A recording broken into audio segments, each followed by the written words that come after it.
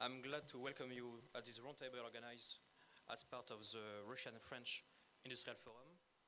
I'm Adrien Danière, the president of Nauka-Innov, the Center of Technological Cooperation of the French-Russian Chamber of Commerce and Industry, uh, the organizer and today moderator of this event. And I invite now our dear speakers to take part of the panel discussion. Mr. Vladimir Dyazdov, the head of uh, digital technologies of the Russian Ministry of Economy. Mr. Jean-François Legrain, the ambassador of the French Alliance Industrie of the Future. Yannick Leprêtre, director for innovation and technology of FIB Groups. Benoît Jobert, the manager of ADUP technology in Russia. Henri Pais, expert of big data analytics of ESC Group. Mr. Peter Durkan, who is uh, the manager of 3D Ceram, the French uh, leader in additive ceramic technologies. Jean-Pierre Tache, industrial director of Accent Group. And Mr. Patrick Fardeau, Vice President of Dassault Systèmes.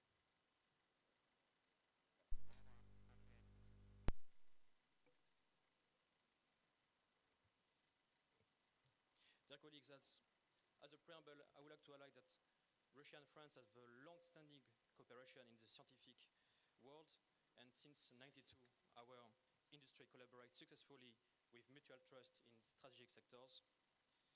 Since the beginning of the sanctions, it's important to note that no French companies left this country, and even more, France is today the first foreign employer in Russia.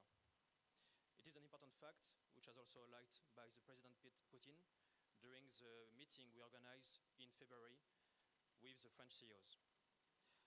On the topic that we have today, the industry of the future, it is a new production revolution, and the competitiveness battle will not be won by cost alone. And the goal of France is to be an innovation leader, to push the technological frontier, and to create the future application technologies. During the visit of the French President Macron at the St. Petersburg Economic Forum, the topic Industry of the Future has been discussed to strengthen the ties of both countries. A roundtable gathering the Russian and French leaders from political and industrial sphere has been organized and the result is that there is a common mutual openness and willingness to cooperate in this strategic direction.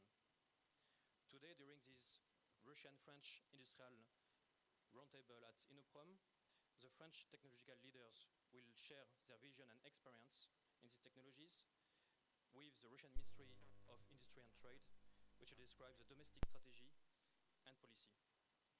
Mr. Dozhdyov, you are the head of the Department of Digital Technologies of the Russian Ministry of Industry and Trade. Can you introduce your vision on this digital transformation? What are the programs led by your ministry and what cooperation frameworks the French companies can expect? Thank you.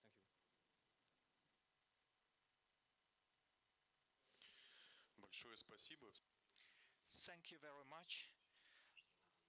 And I'm happy to greet you here at Innoprom in Yekaterinburg. All our colleagues became friends and relatives, basically, for us because it's the fourth or fifth meeting we have and it's very pleasant that we have cooperation not only in words but we have practical deeds both on this forum and on other venues, we've been discussing quite a lot on different levels how important it is to digitalize different spheres of our economy. And not to indulge in empty words, in mere verbiage, I would like to point out the key aspects of our work. Our ministry is involved in working out strategic documents which describe our approaches to digitalizing of manufacturing. There are functional blocks of this program. This May, the President of the Russian Federation signed a decree about national goals and strategic priorities of the Russian Federation. And one of the key aspects in this decree is the issue of speedily implementing digital technologies and first and foremost transformation of economy for mining industries, extracting industries to use newer platforms and newer software and newest digital technologies. To develop and to pursue this decree, we are preparing a national program, Digital Economy, and this digital economy project includes a separate section on digital manufacturing. This is quite an ambitious task for us. We have been using our administrative experience, but as administrators, as public officials, we cannot answer the question why this or that enterprise should choose this or that model, change this operation in a different way. And of course, while preparing this program, we try to summarize the best practices and the best experiences which we have both in our country and abroad. And in this respect, the experience of our French colleagues is precious for us and it plays a very important role. It's of huge assistance to us, not only because we have the opportunity to avoid mistakes we could have made, but also we can choose the best practices which have already been tested by our French partners both in France and in Russia. Thus, our business is actively involved into formulation of the strategic program, both from the viewpoint of new approaches and from the viewpoint of practical solutions, which are going to be tested as pilot projects and this fall, this winter, we are going to implement these projects already. At the first stage, we are planning to go into more detail, to be more in a more comprehensive way to assess the level of digital transformation of different uh, enterprises and work out the criteria of efficiency of digital transformation.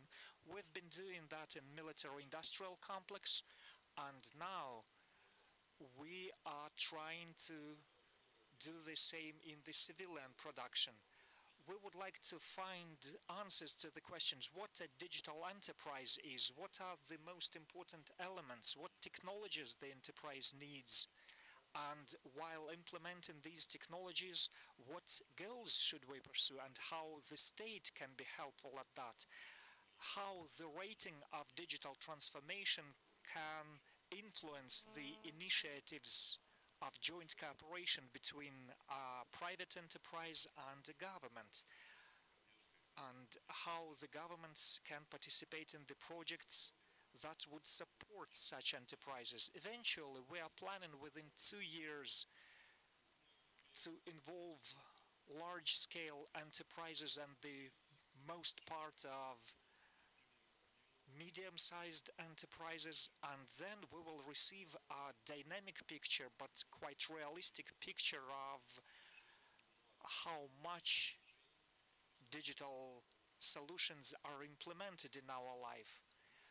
We will be able to assess the whole picture and we set it as our goal to stimulate our own production first and foremost between different industries which would be capable of connecting different services for the industry both the services which already exist and which are worked out and this will give access to our enterprises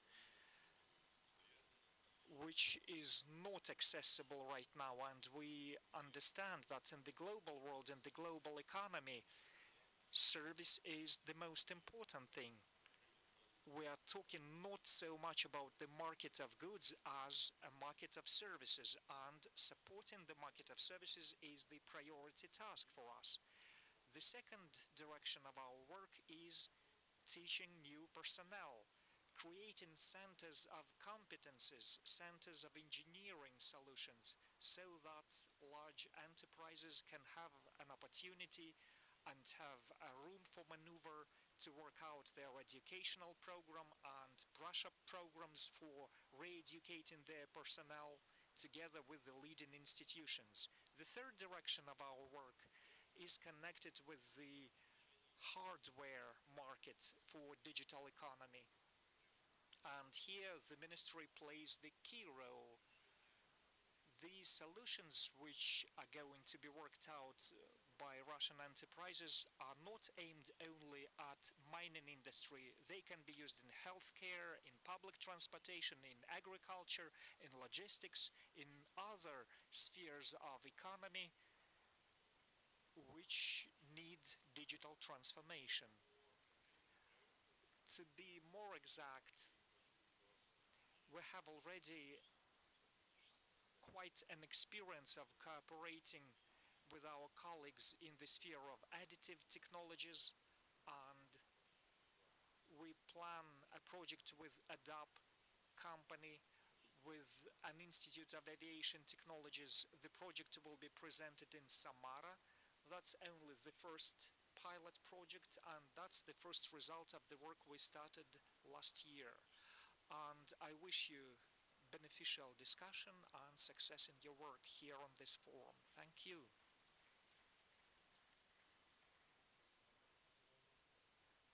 On this uh, Russian vision and Russian policy.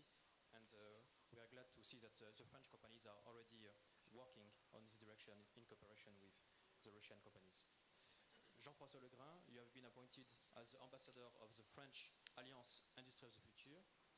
Can you describe what is the alliance, what is the objectives and the missions?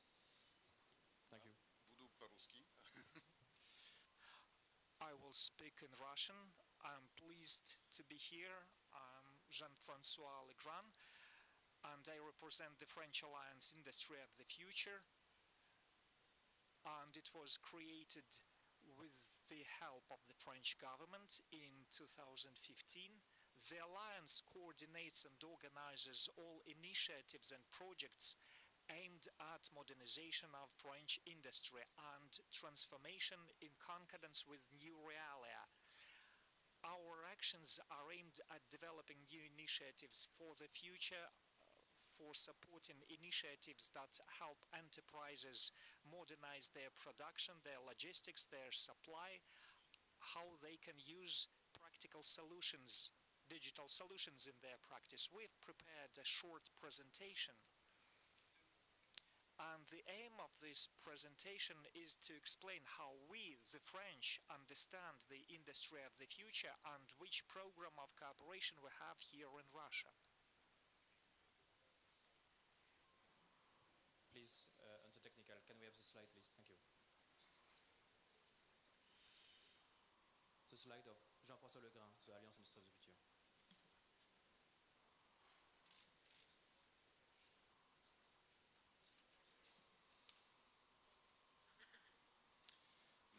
slide? The first slide is going to appear right now. It's a scheme, uh, an outline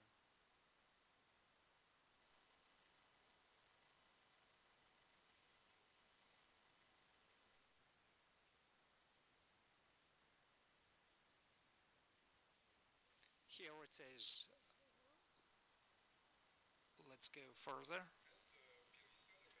that's the first slide, and that's how we understand new industrial organization, thinking from the viewpoint of the future of the plant. It includes close cooperation with internet. Everything is interconnected, and I would like to emphasize it that according to the data of the World Information Center of Industrial Investment, after analyzing more than 7,000 projects, more than 40% of projects had one or several parameters which are typical for the plants of the future. So we cannot ignore this process, it's already going on. the digital technologies. What's the point of digitalization? That's increasing productivity in industry by creating flexible production as opposed to traditional understanding of manufacturing. The plant becomes smarter and uh, it becomes more interconnected with the logistical chain, with the suppliers chain, both outside the plant and within the plant. And now, this slide is how the Alliance understands the algorithm of the industry of the future. Those are the subject matters that we are discussing within the framework of the industry of the future. That is digitalization, of course, everybody speaks of digitalization.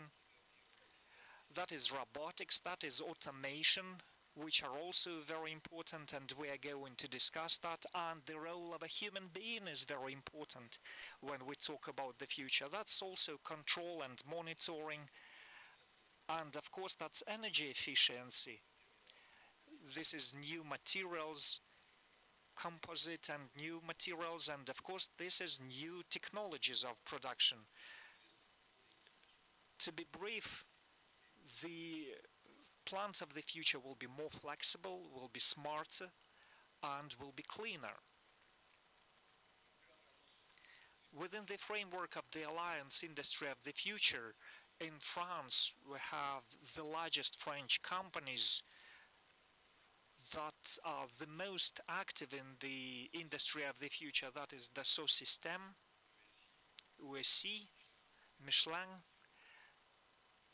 and uh, all these companies are supported by the government of France and we act very actively and decisively in developing the industry of the future and now I would like to tell you more about our tasks and about our roadmap which we have for the territory of the Russian Federation.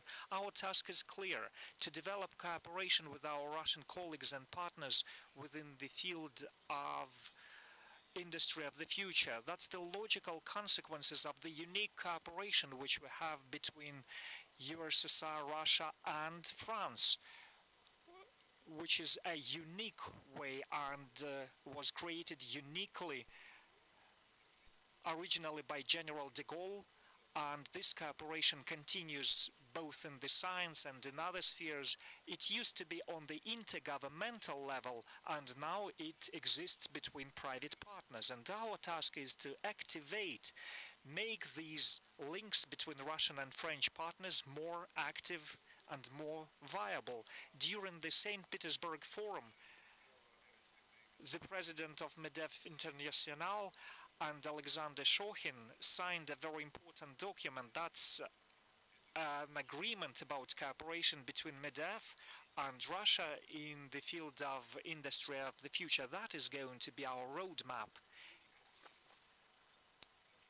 And the subject matters which we are going to be involved in, that is new technologies, additive technologies, composites, robotics, digital technologies in manufacturing, modeling and digital doubles, artificial intellect, the Internet of Things, and uh, prophylactics, preventive care.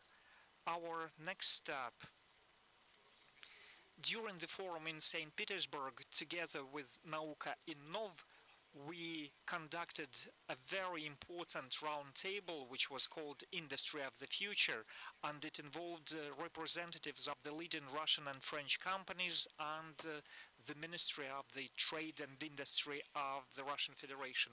We decided that the next step in the development of our French-Russian cooperation about industry of the future is to organize French-Russian meetings in October 2018 in Moscow.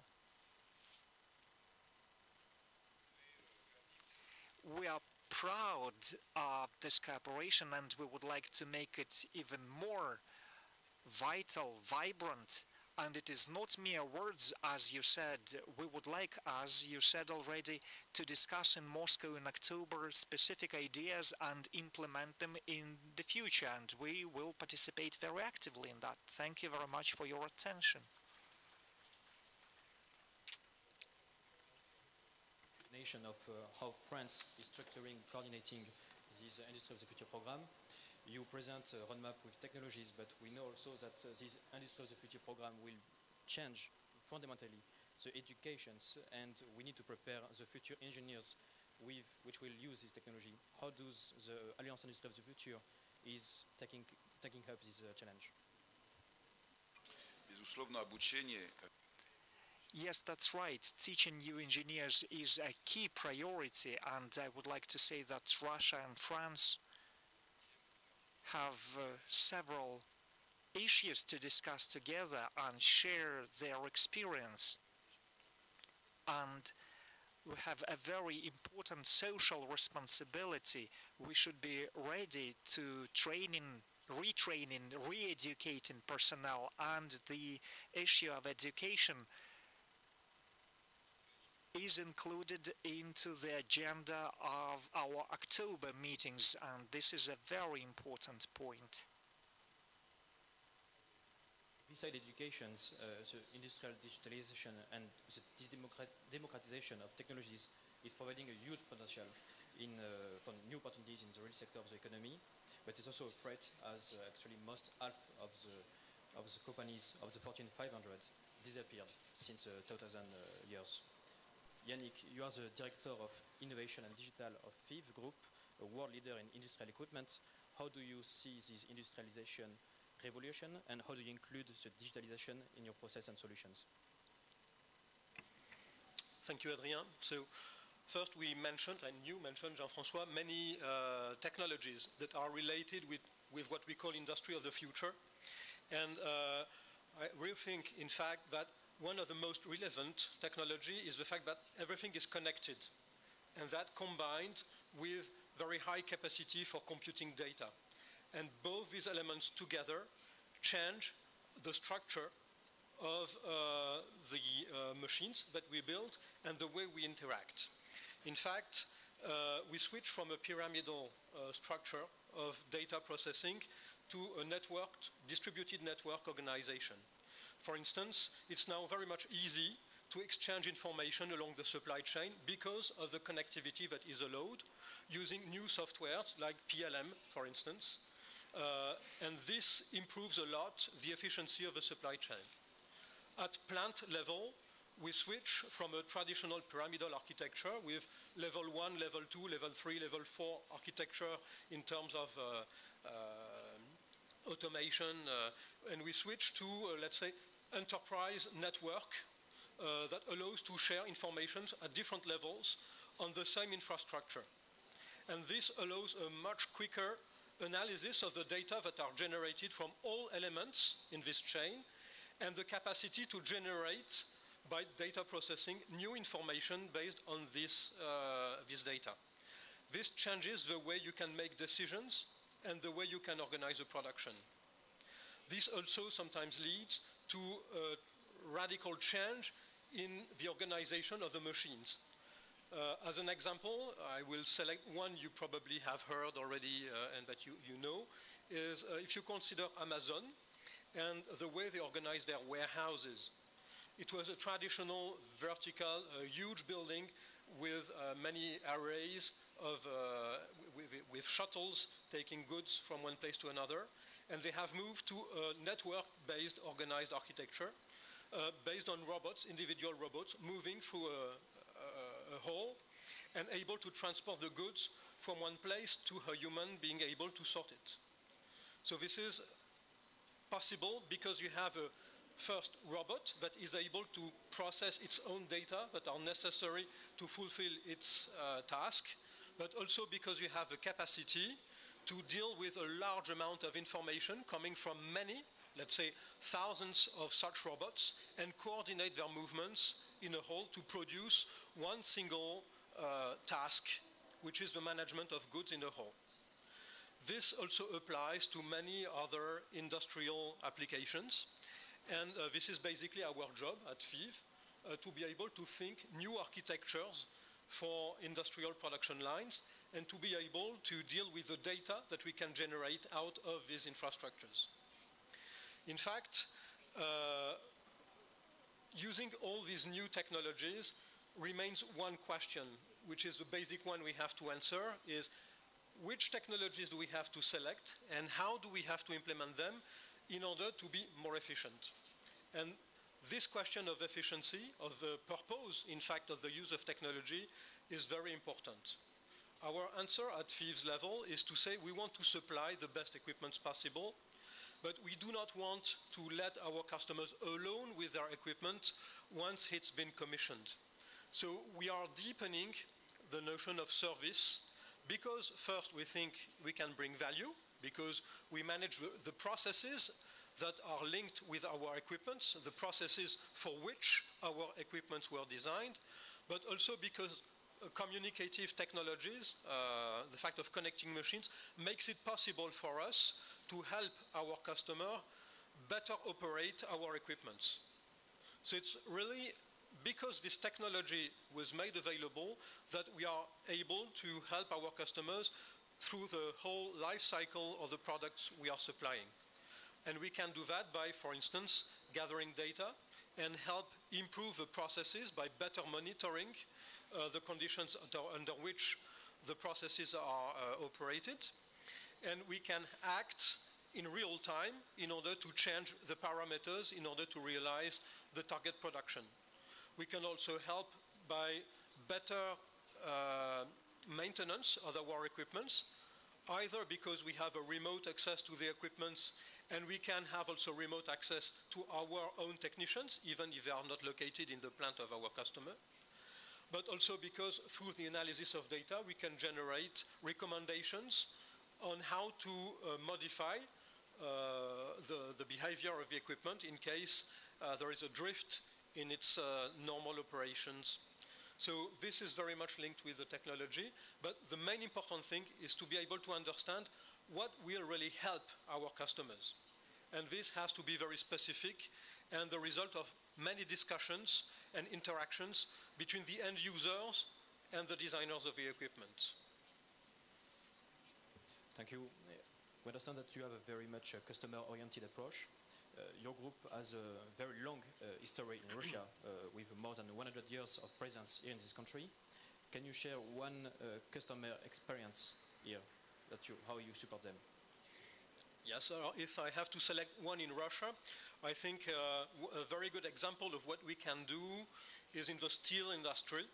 We, have a, a, strong activity in that uh, industrial area. One of our customers, in fact it's Severstal uh, in uh, St. Petersburg, has requested us to equip their whole production with a monitoring system starting from the blast furnace up to the galvanizing line downstream of their process in order to help them to improve the quality of their steel dedicated to automotive applications for which the level of value is much higher than for uh, common industrial applications. And because we are able to combine a very strong uh, understanding of the metallurgical process together with softwares and data analysis, we are able to uh, tell the customer very early that a problem occurs on one of his equipments and how we can modify the equipment downstreams in order to repair that if he wants to keep the quality and if it is possible, or on the contrary, to discard this product and reattribute it to uh, less demanding customers. So this allows huge savings for our customers because of this dynamic reaffectation of the product according to the level of quality can, that can be assessed. Thank you. Thank you very much. Patrick, you are the Vice President of Dassault Systèmes. As it has been mentioned already, this uh, digital revolution is moving the industry value from product to services and to mass production to mass customization. How does your group support this revolution and your customers? Thank you, Adrien. Good afternoon to everybody. Uh, first of all, I'm very honored and pleased to be here and uh, I was delighted also about the opening speech of a representative of the government because I believe that the strategy he just drawn is uh, absolutely pertinent and all the ingredients are there in terms of uh, future success. So I believe now it's more a question of execution than a question of knowing what to do. Um, as the introduction uh, of uh, Dassault system, you have understood that uh, we are also part of uh, Alliance of uh, the Future. Um, is it because we are a French company? Uh, no. It's because we are a global company. So we have an experience of providing our solutions uh, all over the world, uh, in many countries, almost all countries, and to many industries, 12 industries. So we are well known for automotive, uh, we are well known for aerospace, but you might be surprised also to know that uh, we provide also solution for healthcare to modelize the body. One of the largest acquisition we did three years ago was in the domain of modelizing the DNA of the body. And the reason is that we want to be able to provide to everybody a capability to modelize and virtualize all universe. Why? Look at a car today. A car without any connection to satellite, any connection with the road, any connection with electricity system is no more operated. So the world is not only connected between companies and supply chain, the world is totally interconnected between the different industry, the people and the universe. That's why we provide a platform which supports this kind of innovation. And um, when we talk about uh, industry of the future, first of all, we believe that we are already in this future. Because while we are talking now, some companies are already implemented it. And the key question is uh, the model. Because um, all countries, all companies want always to know what's the best model, uh, how to copy how to get faster. And uh, there are things that must be done, things that not must be done. But from our observation, um, it's not coming from um, military organization. It's not coming from large company. The best model are coming from startup. Because today when you look at startups, whatever they are in space, they are in um, health uh, industry, or they are in automotive industry, those companies are created by people who are born in the digital world. They are breathing the digital world. And uh, that's not an accident if, for example, all automotive startups in California have adopted our platform. And the main reason is that they want to go fast. They want to be quick. They want to be very quick on the market. They want to be on quality and they want to be able to produce very quickly in volume. And for that, they cannot continue to use traditional tool. So the question, in fact, is not so much integrated the, the manufacturing production. The question is integrating all the enterprise with the overall ecosystem. Again, I will take the example of automotive. Today, the limit of an electric car is the battery. But there are somewhere in the world people who have invented a new battery. So if you are not able to integrate very quickly this new battery, this won't work. And that's not an accident if you observe some large company like, I will take aerospace, which is my, my favorite industry, like Boeing or Airbus, if they have created incubators of startup. You might probably heard about this uh, flying taxi developed either by Airbus or by Boeing.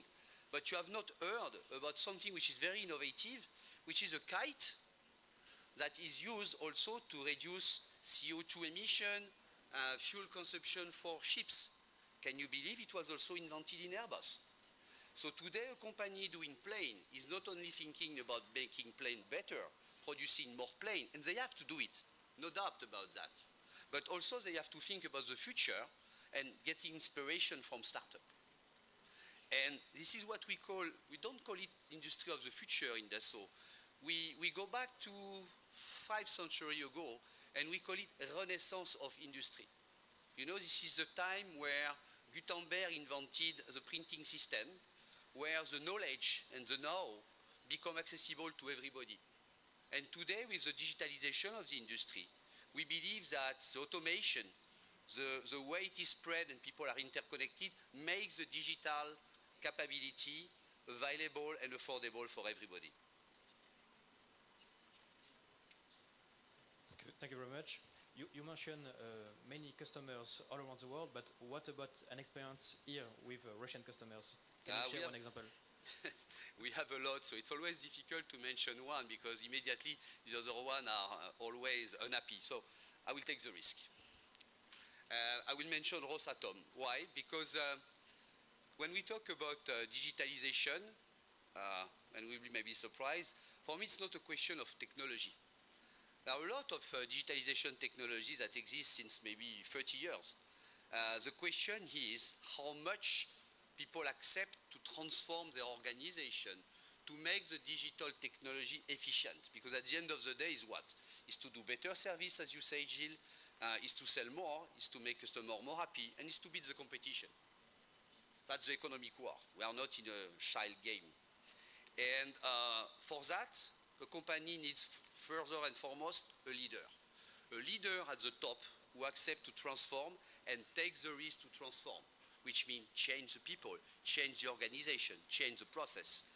And as such, you might say you didn't give an example, so I will give an example now. Uh, we found a leader in Russia, which was Mr. Limarenko, who was boss of uh, Rosatom, and he was really a leader who wants really to transform his company. And uh, through his leadership, uh, we had a very efficient and powerful uh, deployment of our solution. And you will be probably astonished to know that we have a company in France doing also nuclear power plant, which has not adopted the system solution. So sometimes you are French, but French doesn't like you. So Rosatom was the first adopter of our solution before France, and he was beating our French company on the market selling your nuclear power plant. And then after, our company understood and adopted also our solution. Thank you for this uh, interesting case. You mentioned that uh, uh, despite the modification of business model, we are also changing the organization.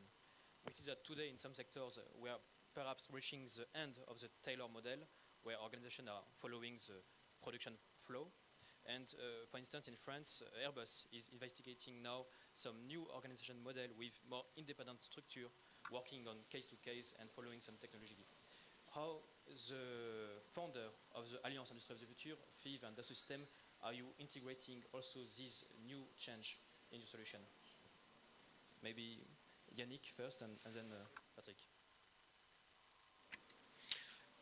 In fact, uh, we think that basically you can change the flexibility of a plant by using uh, software systems that enable you to reorganize your production uh, in real time. But if you still have a traditional structure of your plant, physically you won't be able to implement what your software has planned. So it's also necessary to change the organization of your production means.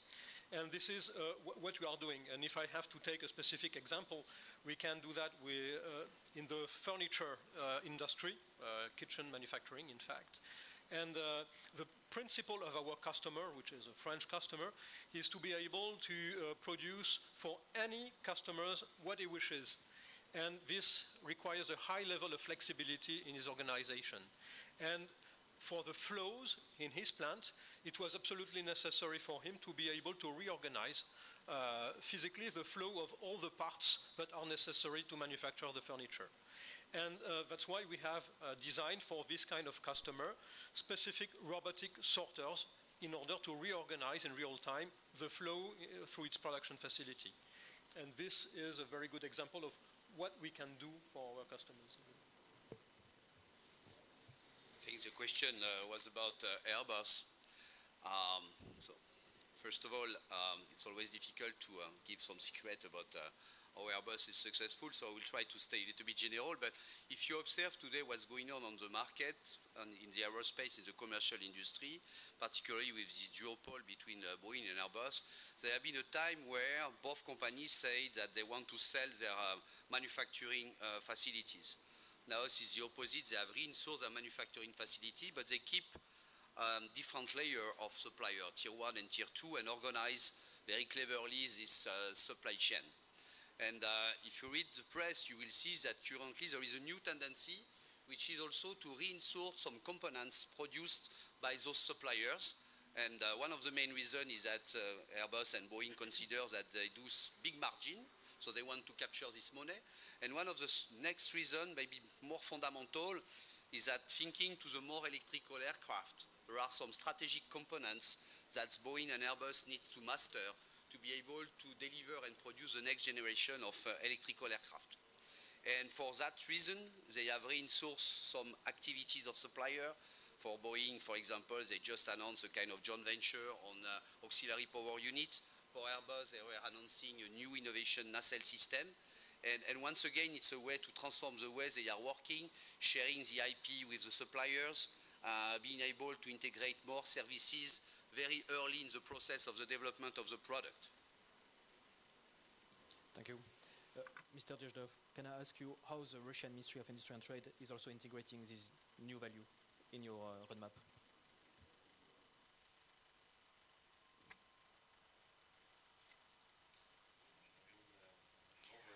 Well, I suppose the new added value of any new product, it's the aim of our work. It's the final aim.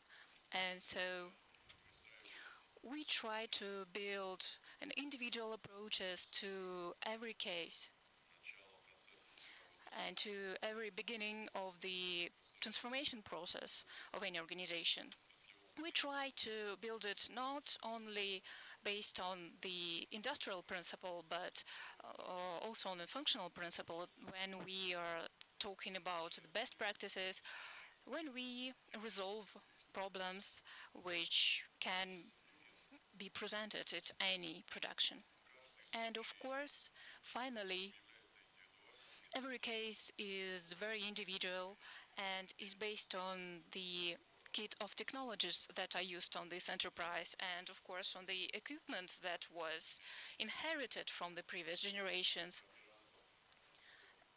And it is very important to take into account the partners and the market towards which the product is oriented. And so the ministry has more than 100 different approaches and different support measures. We have, for example, some programs to collaborate the export of the technology production and the cost of certification and legalization of products on the foreign markets. Also, we have the, the help, the financial help for studies and for engineering studies also.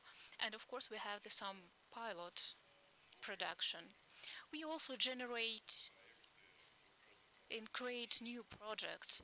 And in every case, we try to choose some measures which can help to promote this project.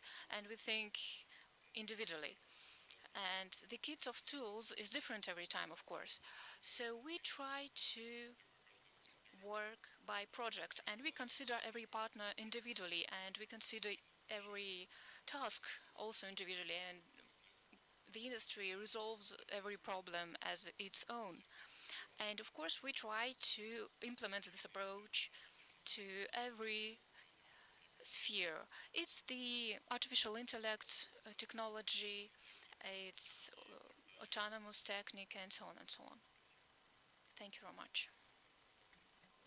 Uh, we'll continue now with uh, the additive technologies, a technology which is bulversing the uh, traditional manufacturing design and production meanings.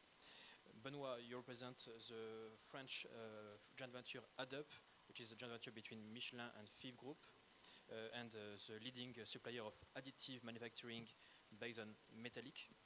Could you explain your vision on this technology and how do you support your customers in capturing the value of additive technologies? Добрый день, уважаемые дамы и господа. Uh, good uh, day, ladies and gentlemen. Now we speak in Russian. Uh, what I think about the additive technologies? It's simple. I see additive technologies as several directions. The first direction is the production of the complex parts which can't be produced by another technologies and a part of this direction is the topolo topological optimization which is developing today and it is all connected to the software.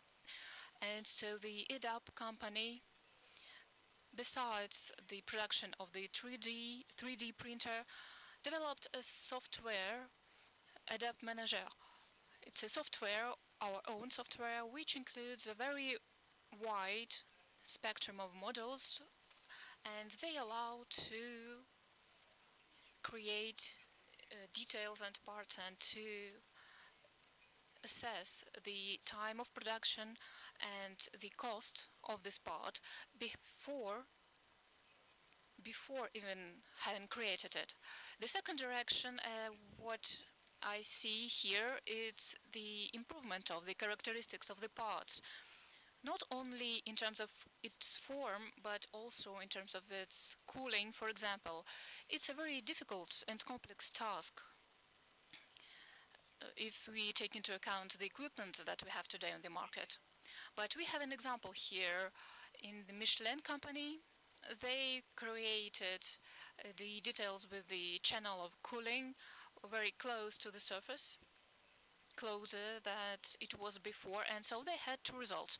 The first result of course is that the parts are operating longer and also the second result is that the speed uh, of production is faster and higher. So they produce more and the parts are serving longer. So the Michelin company has a great experience here. They produce more than uh, 1 million parts uh, per year using the additive technologies and so this experience of Michelin allows us to recommend to our clients all the operations of post uh, production. And of course, the additive technologies are not ideal. They have some disadvantages. So one of the dis disadvantages is that uh, the part is not really lean. And another direction here it's the improvement of characteristics of the parts. If we are talking about the beam technology, the company Beam was bought by the AddUp company. So AddUp proposes different uh, technologies. It, for example, selective laser sintering. Uh, it's uh, the selective laser melting and so on. Uh, and the beam company and the technology of this company allows to produce details and parts from different materials at once. And it's changing our approach to this production drastically. So we can produce a part which is hard and solid in the place where it should be solid and hard and so on. And of course we can have different forms and, and so on. So our approach has been changed. And the third direction here, which I see in the additive technologies, is that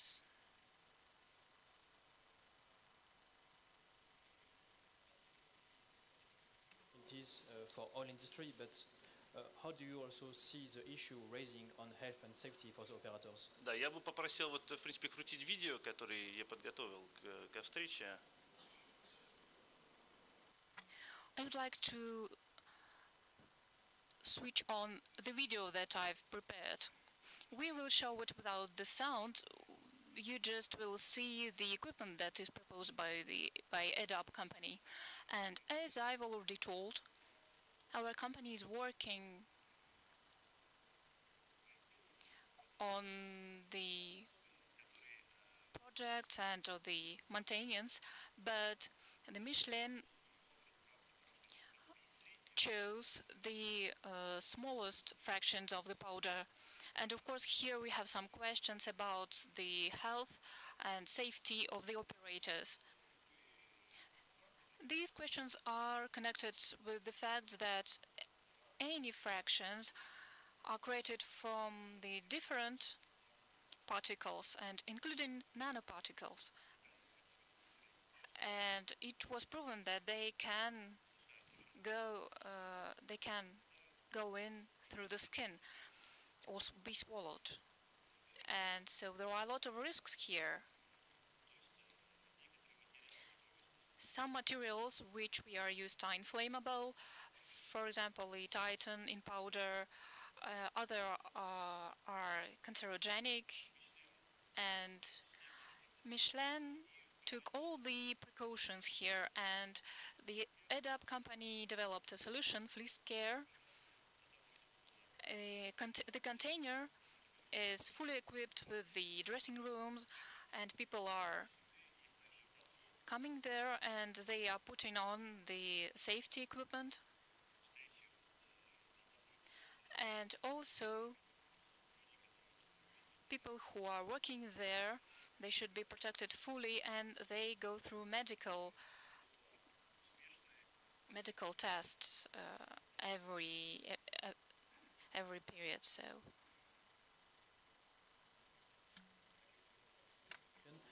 The growth of uh, industrial additive application is also going in parallel of uh, new materials, new powder, new alloys. And I would like to address this question to the two companies, French companies in additive manufacturing, uh, and 3D Ceram.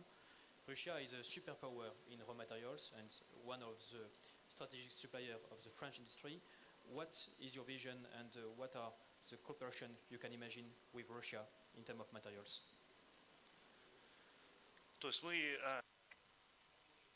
we are working for a long time in Russia with the Beam company and the AddUp company.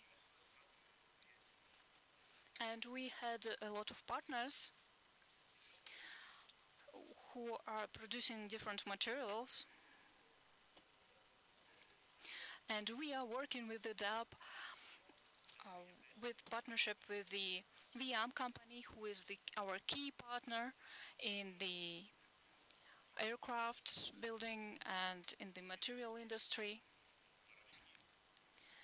And they will provide us with powders that we can use on our equipment in order to get the best result. And we've produced some test items from this powder and we had some very good results there and we have this two-sided result. The change of the results of the production for the VIAM company. So this work is can be made only in partnership. Thank you. Thank you, Benoit. What about uh, you, Peter, for 3D Ceram? So for us as a ceramic 3D printing company, it's very important as a disruptive technology to adapt to our clients' needs. So for an example, I'll give you an application that we have that is our biggest application in Russia. It's the production of foundry cores. As it's a disruptive technology, it's as it's a disruptive technology, it can be quite important for us to adapt to the client, to use their ceramic powder. What we can provide is that we will develop their ceramic powder with our organic paste to, that it will be able to produce ceramic, technical ceramic cores on our 3D printing machine. We think it's really important that with this type of partnership with certain clients here in Russia and also with Viam, as Benoit mentioned, that we have a type of partnership that we can use to help to provide solutions to clients. Thank you. Let's continue with you. Uh, 3D Ceram is uh, uh, actually a spin-off of uh, one uh, very uh, prestigious technological center in Limoges in, in ceramic field. After 17 years of operation, you succeed to be the global leader in ceramic additive manufacturing. And USME actually shows a successful link existing between the innovative startup and the academic ecosystem.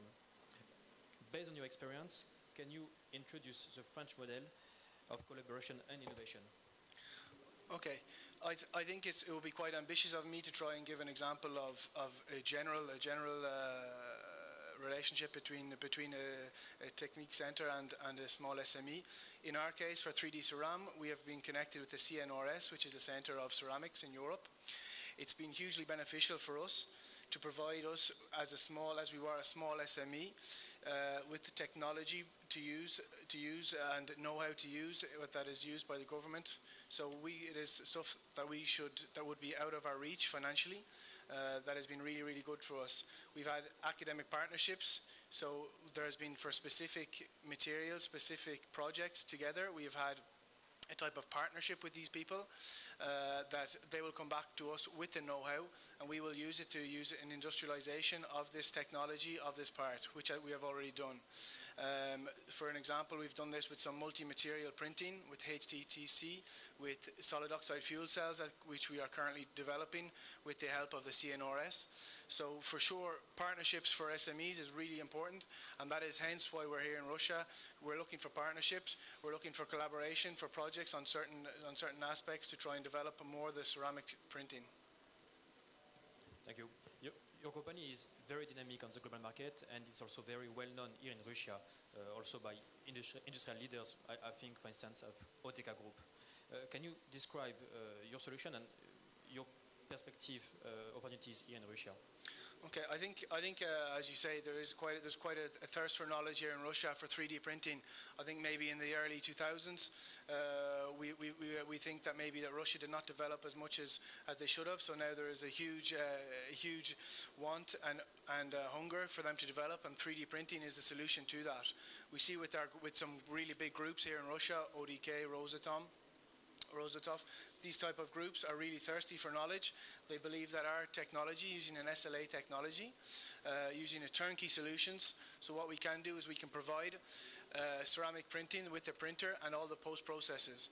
Our technology is the industrialization of, the, of ceramic printing, which is really important. We believe that we've altered our machine for the Russian market. There are some issue, there are some uh, aspects that we can work with, uh, with uh, technical centers, but we really believe that the big groups in Russia are the most important about the industrialization of the part and production.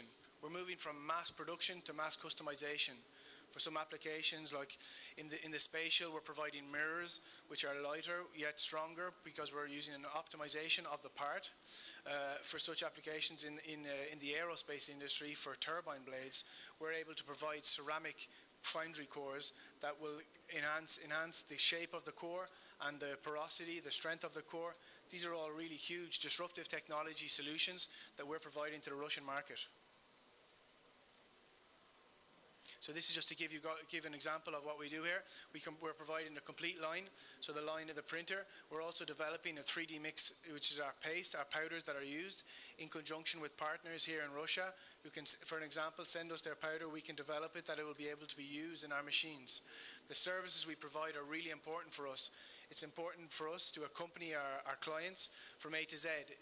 We can't, we, the, the general, the technologies that exist already today if it can be done by machining, by press, that we, it's not a competition for us. We're here to try and move on to provide solutions and geometrics and shapes that don't exist already. So that's, that's what we're doing with the services, the training and the post-process. These are some of the aspects that we're working on, some of the applications, the aerospace, the energy, biomedical, and we're even doing some, doing some luxury market. So using stereolithography is our technologies that we're using. Just to give you guys an example here of, the, of an example of the turbine blades, we're using an access to complex geometrics. We're reducing the cost per core. So the return on investment for large groups, as mentioned by Adrian, will be really, really interesting for them. We're reducing the human, human resource as traditional technologies has a lot of, lot of steps involved. We're trying to, we're reducing that. We're using a different, all different types of materials, specific materials. We can adapt to the client's needs so if the client has a certain ceramic or a certain mix of ceramics that they would like to use, we can use this in our, we will develop this to be used in our machine. This is what we're doing initially. It's the automated printing line, and this is what we want to move to. 3D Ceram 4.0, where there'll be a fully automated printing line that will have it, all the processes will be there from the printing to the to the cleaning to the post processes post processes to the firing of the of the uh, of the machines. It will be more capable, more profitable, and especially more user friendly. As it is now, whereas we're coming from from a technical ceramics can have a type of artisan artisan uh, an environment. We're trying to push it on to be something of high technology, of breaking disruptive technology, moving forward with the fully automated printing line.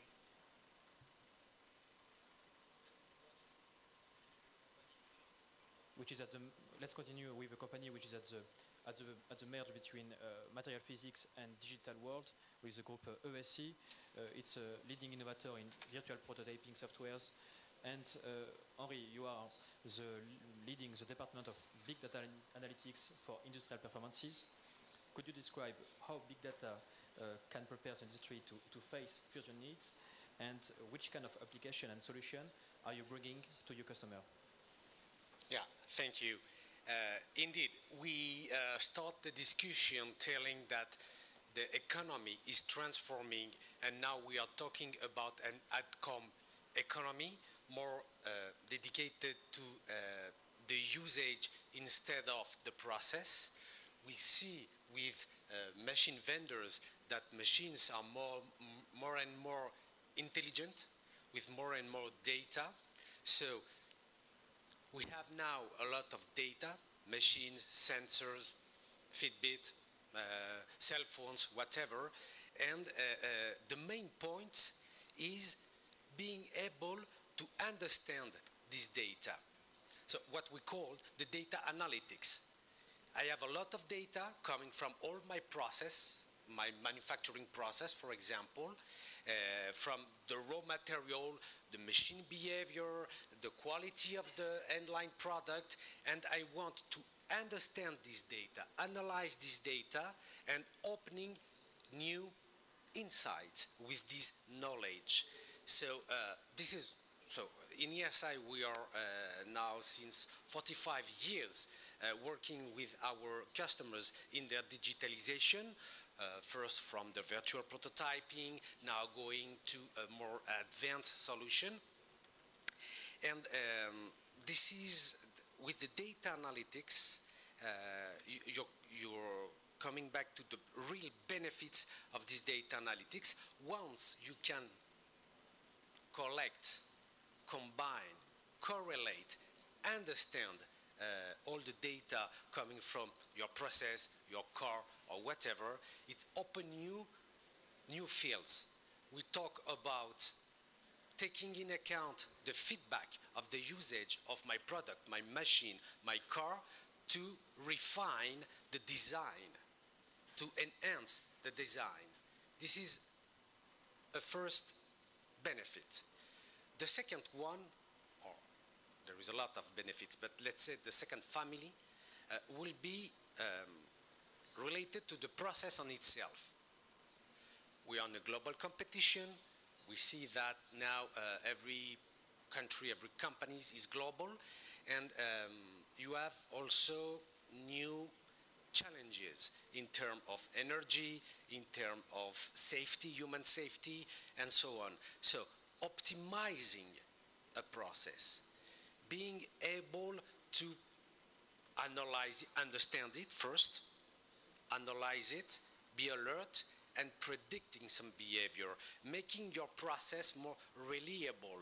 It's also a benefit of data analytics. And it was mentioned uh, uh, um, before me, also analyzing the data of my process, of the part or the product I'm doing and how I am using it, it's also bringing new services. A lot of my customers uh, um, working on machinery building or product are telling me, okay, uh, um, their own customer is not asking for a machine, is asking for a service. So uh, uh, they, they, they, ask me, okay, we have now to define new business model. I'm not longer a machinery producer builder or a car uh, builder. I'm a, a, a service provider. This is exactly what means the outcome economy. So in ESI, working with, let's say, almost all industries, uh, we understand that more than a technology, uh, it's industrial project. And our job as editors is to understand, put in place, and democratize the use of these advanced technologies, big data, machine learning, deep learning, and so on, uh, and to put it in the hand of the industrial experts, that they will use it at, for their own purpose and objectives. So this is uh, what we are doing, um, what we are trying to enhance industrial uh, uh, operation. Your, your, group is developing uh, many digital uh, software and solution, but one uh, is also famous concept here in Russia. It's the hybrid twins, with the merge of physical, mm, physical materials and physics with external environment interaction. Can you describe what is this concept and uh, what do you want to bring, which value do you want to bring to your customer? Yeah. So, virtual twin, digital twin, hybrid twin, a lot of twins, okay? Uh, it could take me one day just to explain it. I will propose, let's say, my own small definition, okay? We have two words, the, the first one uh, coming from simulation. We are coming from simulation ESI, physics, okay? Casting, stamping, whatever, the physics, the finite, the finite elements, okay? Simulating this process, allowing you uh, to test, to simulate before doing uh, real stuff. So it helps to build, let's say, a virtual twin of your products we have seen that with data now, we can, we can uh, yeah, replicate, we can create a digital twin. The twin, or let's say the representation of your process based on the data which is collected. Okay? So we were talking about innovation. You see that innovation is going very fast. Now, what we are trying, what we are doing in ESI, what we are proposing, working on with our customers is combining both worlds, the virtual physics and uh, the IoT. Virtual twin, digital twin, bringing a mix, let's say a combined replica, we are calling hybrid twin, in which you will find information coming from sensors, but also informations coming from the physics, the simulation, with advanced model. So a hybrid twin for it, just make, try to make it very concrete. Let's take a, a, a wind turbine, okay, in which you have a gearbox. The gearbox is made by uh, with steel, okay, some, let's say, I don't know, casting process, okay. So you have some physics uh, in these turbines. And you're also taking data, you have sensors that are measuring the behavior. So with virtual twin, you can define better shape and so on uh, the gearbox of your turbine. Okay, with uh, um, digital twin, with the uh, the, the sensor data. Okay, you can monitor it. With an hybrid twin, what hybrid twin uh, open is enhancing the mentoring, enhancing the alerting, but we are also opening new doors in prediction and most important, prognostic. What if scenarios? I have my wind turbine, okay? It's an offshore one in the middle of the North Sea. So uh, uh, if something happen, I cannot send someone just like that, okay? So I will take the information of the wear of my gearbox, okay? I will ingest this IoT knowledge, information into my simulation and run what if scenarios. What happened if I have a wine of this speed, if blah, blah, blah, blah, blah. So the decisions that industrial can take on top of that is very valuable for this concrete example of wind twin, um, wind turbines in northern seas. When they measure some wear in the turbine, what they are doing now is stopping it. So you are losing money because you are losing energy production time. So with our solutions, they are performing what if scenarios and they get some concrete answers like, okay, based on uh, the level of wear regarding uh, uh, the, the, the weather uh, previ previsions, okay, I can still let my turbine uh, running up to uh, 40, 50 uh, winds, uh, kilometers of wind. So I, this is this new area that is opening. And again, um, we are talking about a lot of technologies, a lot of new technologies. In synthesis, my point we have a lot of marketing, we call it uh, digital, hybrid, whatever. We're integrating a lot of solutions. But the main point, this is why, uh, this is the, the, the, let's say, our focus in ESI. First, it's an industrial project before anything. We have to keep this in mind. Okay, it's an industrial project, and uh, these kind of solutions are based on co-creation we are here not to work for someone, but to work with someone. This is our DNA in ESI. Thank you, Harry. Let's move with a company which is using extensively uh, simulation and also hybrid twins for their customers. Jean-Pierre, you are the industrial director of Accent.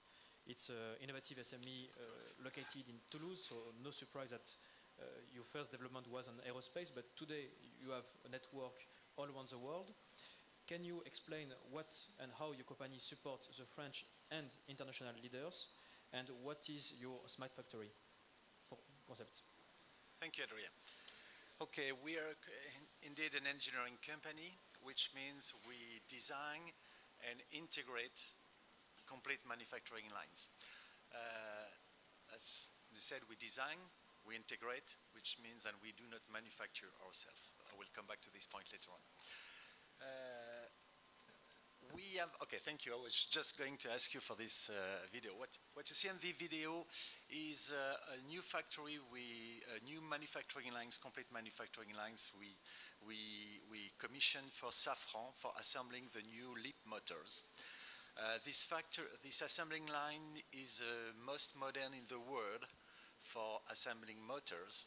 And this is because of this line then we received the label from the Alliance of the Future. And this is because of this line that we are present here today to Innoprom. Uh, you saw first our approach of uh, the video, uh, the CAD approach. Now this is the line. Uh, I will not enter in details to everything about this line, just to say that we have used several technologies some of them have been already uh, presented. Oh, it, it, goes fast. Uh, some of them were for based on value stream mapping, lean manufacturing, simulation, control regulation, supervision, robotics, cobotics. All this kind of technology have been used. What you see here is something different. It's what we call a Jackson. It's a pattern equipment than we, uh, than we developed. Uh, it's a kind of, uh, let's say, it's a kind of forklift, just normal forklift. The difference is that it, oh, it goes fast. Can you start again? The video? Thank you, Adrian.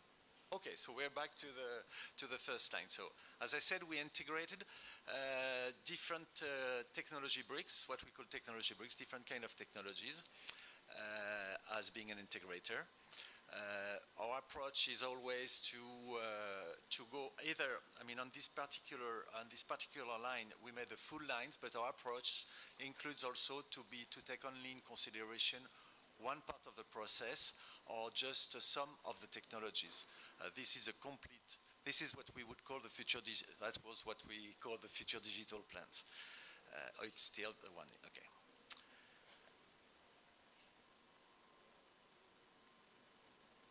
We see the different steps.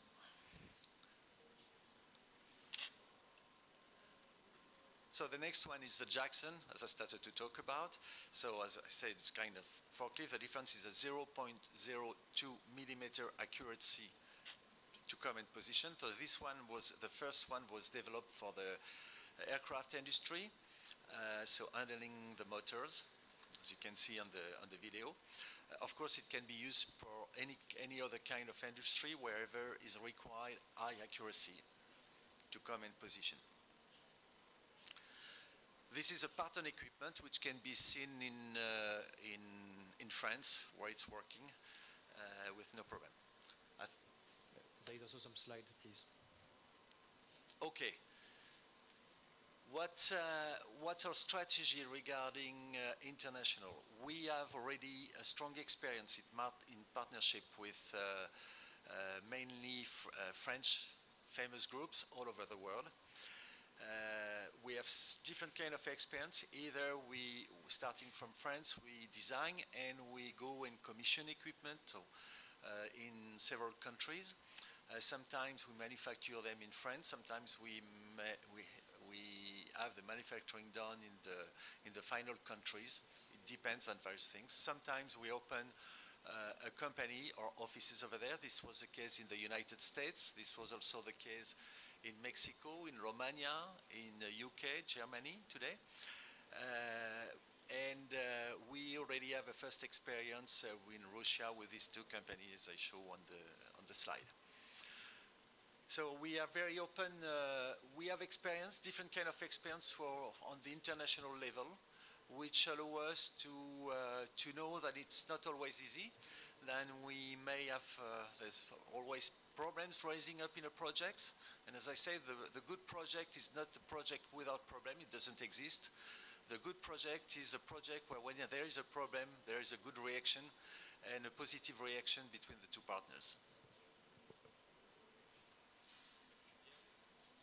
Now, maybe more philosophical question, but uh, you are a supplier of uh, automation and uh, new industrial equipment. Uh, your equipment could replace and threaten uh, the position of humans in factory. Uh, what is your vision on the human-machine interaction? Thank you, Adrien. May I ask you for another slide? I'm not surprised by the question. I had a slide ready. okay, our, we have immense rem remains in the center of our approach. To, we have the slide here showing you. We, we consider that the, the approach for the, for the future digital enterprise or in between the just modernized enterprise is to avoid value um, work to be done by operator when there is no value. That's the first point. The second approach is to say, okay, we want to raise quality of the product we want the jobs to be done safely by the operators on the ground. And we want to keep all, we want to raise also the level of the employees. We were talking before, I heard before about uh, uh, the requirement, of course, to have more and more uh, educated engineers. This is obviously uh, necessary, but it's also necessary, it's also, yeah, uh, necessary, required uh, also to keep employees in working in the plants because they have some know-how. So we believe that it's very important to uh, to foresee in the projects to have training, important training with the people. Uh, and so we can train them to use uh, all these new technologies, all the bricks we are going to implement. That's what we call the technological bricks we are going to implement in your new manufacturing lines. Started to, to talk about them before, the value stream mapping, which lead to the lean which is a tool for the lean manufacturing, the simulation, control regulation and supervision. ESI talked about it just before. Uh, we use, of course, the augmented reality and virtual reality for training people or just during the different phases of the project to exchange with the engineers uh, of the uh, for the future project to exchange with them so we can see what always going to be the plan that we're going to deliver and to together uh, validate the different uh, phases. Of course, robotic will be part of the equipment, and cobotic. Cobotic is a new uh, is a new is a new approach of robotic where you can have a man working together with a robot. So the man the man still brings his high his added value because of his know, and uh, the robot brings just uh, I mean relieve the operator from the hard job.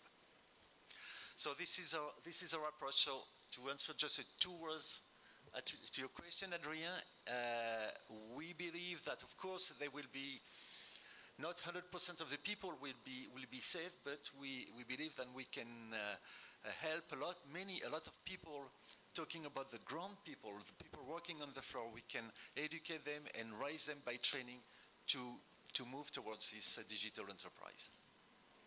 Thank you, Jean-Pierre. To continue on this uh, question of equilibrium between humans and new technology, Uh, Henri, uh, do you think that data over the years will become more important than human talent in the industry? No. Uh, concretely, no. data, as I was mentioning, the uh, added value of data is related to the human expertise.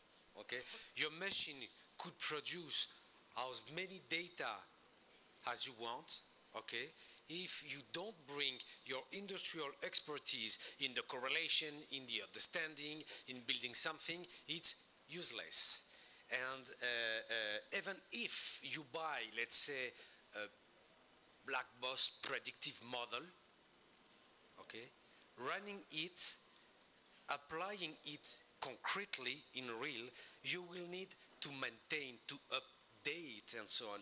And now, uh, just to conclude, your uh, uh, new, let's say, marketing terms related to big data, which is the human in the loop and the human machine learning, the human computing.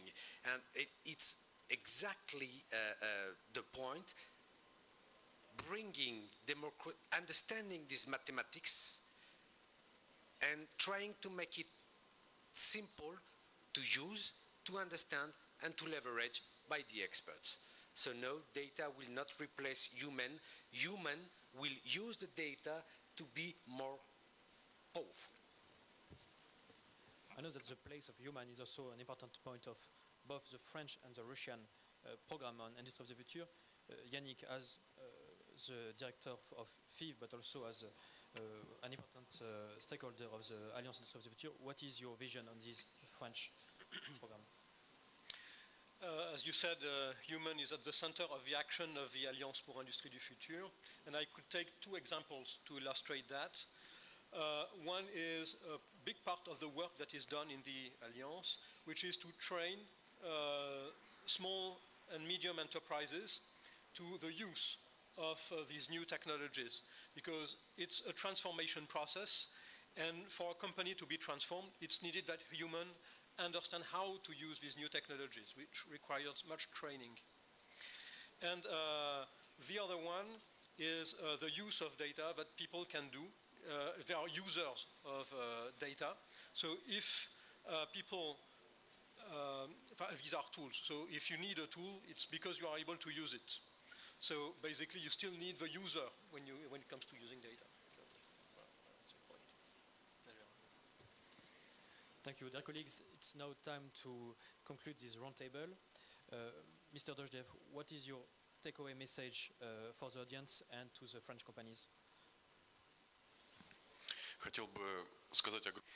I would like to thank you very much. Thanks a lot to all participants of the discussion and to the Alliance Industry of the Future all the technologies we've been discussing are the technologies of the future and the virtual twins allow us to cut down the number of tests from hundreds to sometimes only one. And the technologies of industrial internet allow us to cut down on investments and increase the efficiency of our equipment by 10% for example. And we can list these new benefits. But the major point is this is the future and this is unavoidable and we should work together, work out together joint solutions, create joint platforms, develop joint projects. And in this respect Russian-French cooperation is a very good example of the environment of the milieu where such projects can develop very successfully. And we will be working very hard to do that. Thank you. Message of openness and, and, your call for stronger cooperation with the French companies. We'll make sure that we will continue to, to have this French-Russian dialogue. And as uh, Jean-François said, uh, in uh, October we are planning to have a very big event here in, um, in Moscow uh, on uh, gathering the French uh, and the Russian political and industrial leaders and working groups between experts to continue the assessment of opportunities and technology of cooperation. Um, and as you, as you can see, we also organize some different missions or in Moscow or in France where uh, the delegation and also Russian delegation could also meet and see uh, these uh, French companies. Thank you very much for your attention. Moj n'a pas ça.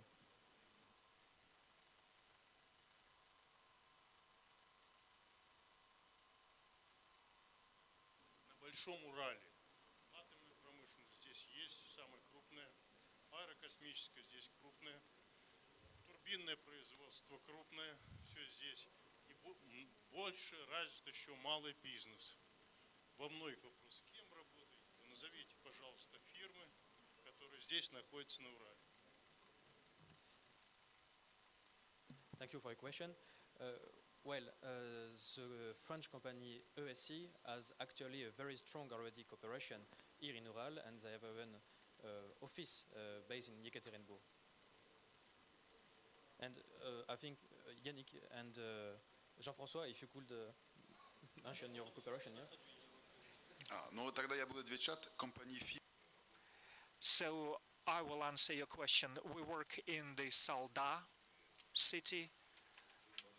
Benoit can give you more details what Fives is doing over there. I think it is a very interesting project. Yes, Fives works over here in different directions, as you may have understood from our discussions. One of the direction of our work is machine building and titanium producing and titanium cutting lasers and it is no secret that in Salda there is uh, titanium processing and we sold almost all the lasers which process different spare parts for Boeing, Airbus, Embraer and other aerospace and uh, aircraft producing companies and I can give you other examples but most important is machine building for air industry. We used to work with the Ural Federal University as well in additive technologies. There was a joint project with Micromed which was not quite successful, but we shared our experience in additive technologies with different enterprises not only in Yekaterinburg but in Perm. In Perm we produced several samples which are being tested right now and most likely our equipment of BeAM company will be shipped to Perm and we have other projects as well we can continue this list.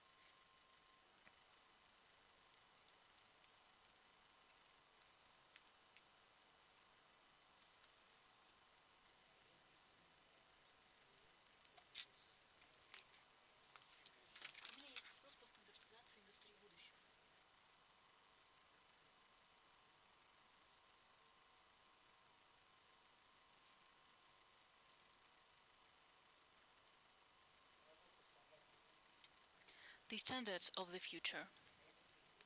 The industry of the future requires new standards because we have new risks, new tasks.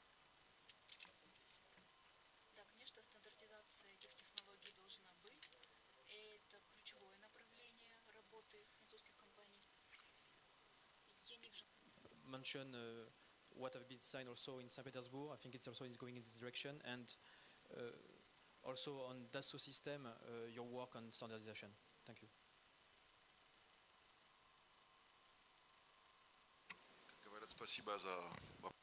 Uh, thank you very much for the question. As we understand, the development of new standards today is on the level of uh, European Union. We don't want to have separate standards in every country of uh, the EU, but we try to develop the standards on the level of the European Union. That's what we can say today, but it is necessary, of course.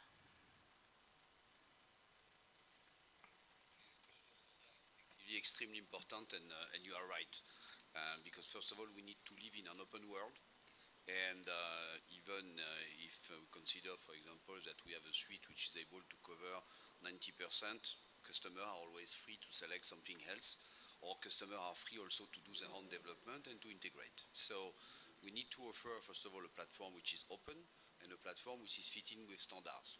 Uh, there are a couple of standards that already exist in the domain of numerization of data. For example, a tech standard like STEP. In terms of uh, modelization of system, you have standards that exist that's called FMI standard. I think the, the key topic is first of all to make sure that the level of the standard is enough respected and not only in Europe but all over the world because once again the world is totally interconnected. So even if in Russia you collaborate not with all countries, at least we must provide standards which are uh, supporting a worldwide uh, connection. But more important also, I believe that the standard should be developed in such a way that on one hand it's not restricted the innovation of the supplier and the provider who provide tools. So in another word, we want to keep some freedom to put some innovative capabilities even if the standards are a little bit late or behind uh, the capability we provide. And in other words, it's also important that all people, all companies are respecting the standards. You know, it's like on a road. Uh, some people are arriving on the right and others are arriving on the left, it's becoming very quickly a mess. So there is a need for everybody to respect standard, whatever are their origin, French, American, or Japanese, or Chinese. And this must be handled at a very high level. And I personally support the fact that if some company are not respecting the standards, it must be known, and they must get some penalties.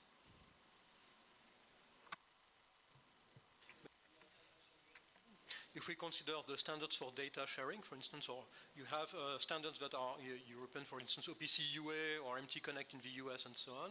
But as you said, it's necessary to maintain innovation. And what is very important in the area of data, it's uh, open source development too.